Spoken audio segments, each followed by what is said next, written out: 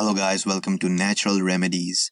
I just ate an orange a few hours ago, so I decided to make a video about vitamin C and include some very interesting information about oranges at the end of the video. So make sure you watch this video until the end to know the complete information. Many people are low in vitamin C, so in this video I'll share 5 reasons for including more vitamin C into your diet. Vitamin C supports many bodily functions like metabolism and digestion. Adults require around 65 to 90 milligrams of vitamin C a day to avoid diseases and complications, health complications such as osteoporosis and anemia. Unfortunately, the human body can neither store nor produce vitamin C. It simply absorbs the vitamin C that many fruits and vegetables provide.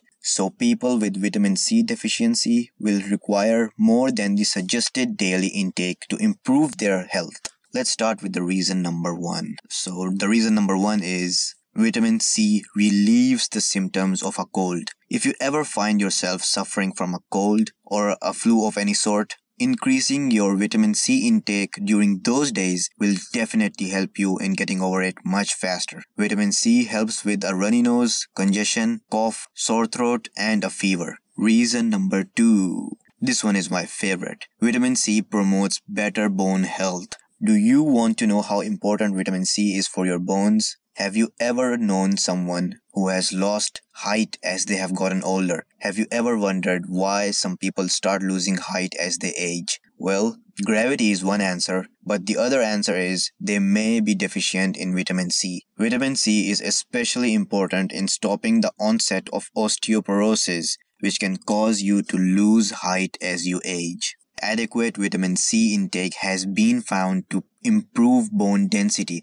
thereby significantly lowering the risk of fractures and bone-related diseases. Reason number 3. Vitamin C boosts immunity. As a powerful antioxidant, vitamin C can fortify the immune system and protect the body from pathogens and disease-causing free radicals. Vitamin C also stimulates the production of white blood cells that protect the body from infection but keep in mind not to overdose on vitamin C as that can do more harm than good. Well, the reason number four is vitamin C prevents scurvy. A persistent lack of vitamin C in your diet can cause scurvy. Scurvy is a condition marked by frequent bruising, bleeding, and joint pain. In severe cases, scurvy can also cause teeth to fall out. I don't know about you guys, but I never want to suffer from something like that. Let's move on to the reason number five. The reason number five is vitamin C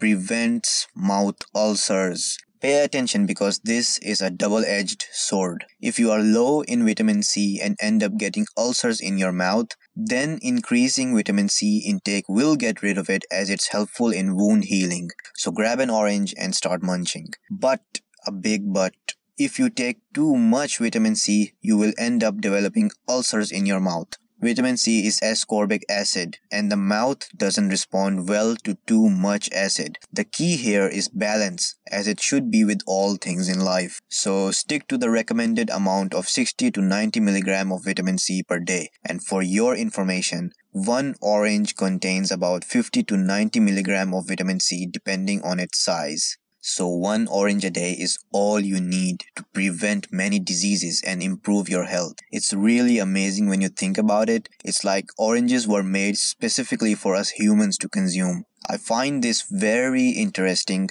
Anyway, I'm ending the video here. Thank you for watching. Please like, comment, subscribe and share this video with your friends and family too. Goodbye.